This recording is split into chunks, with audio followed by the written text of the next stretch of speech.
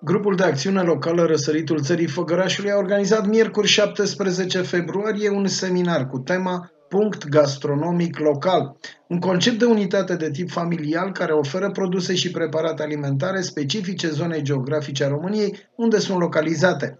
Proiectul este demarat de Autoritatea Națională Sanitară Veterinară și pentru Siguranța Alimentelor și are ca scop dezvoltarea comunităților locale și a turismului local. Încă o acțiune de susținere și de sprijin și de consultanță și de ajutor în tot ceea ce înseamnă dezvoltarea teritoriului și de a sprijini micul producători din teritoriul Gal RTF.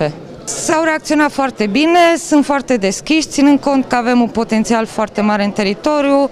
Eu sper ca cel târziu în vară toți turiștii care trec prin teritoriu să aibă unde mânca și să avem cât mai multe puncte gastronomice locale.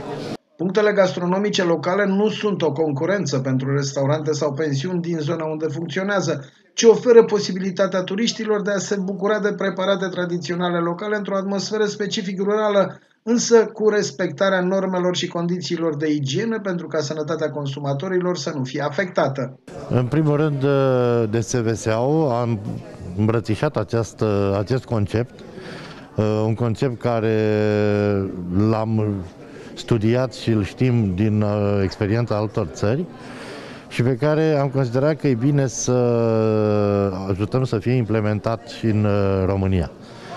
Uh, DSVSA-ul, începând de fapt de la ANSVSA, a făcut toate demersurile necesare pentru a apărea o legislație coerentă privind înregistrarea acestor puncte gastronomice locale, Uh, de a acorda consultanță privind uh, modul cum se trebuie desfășurată activitatea la nivelul acestor uh, tipuri de unități și asigurăm totodată controlul. Uh, după ce uh, aceste unități încep să funcționeze, în așa fel încât să ne asigurăm că nu apar evenimente uh, de tipul toxinfecții alimentare, evenimente care sunt aproape imposibil de, de este imposibil să apară pentru că se gătește ca la mama casă. Deci ce mănâncă omul cu familia lui pune pe masă și consumatorului.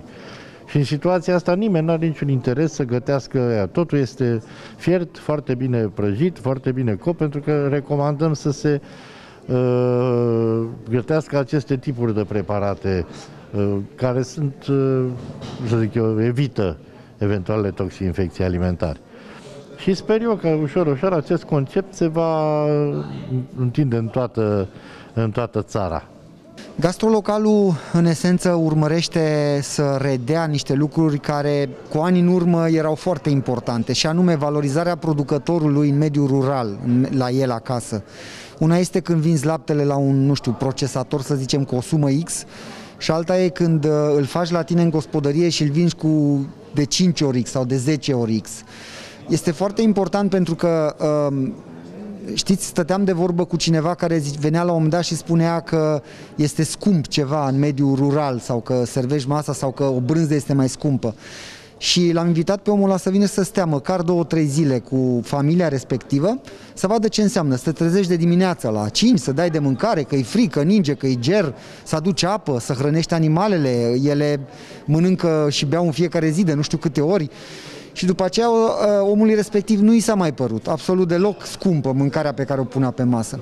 Valorizarea producătorului și valorizarea satului românesc, valorizarea mediului rural, astea sunt uh, punctele esențiale pentru cei care locuiesc acolo. Iar pentru turist, pentru cei care vizitează, este de a mânca undeva în siguranță, de a mânca produse tradiționale și de a avea o experiență gastronomică, pentru că Gastronomia nu înseamnă neapărat numai mâncare, înseamnă poveste, înseamnă a valoriza inclusiv trecutul și prezentul cultural al acelei uh, locații.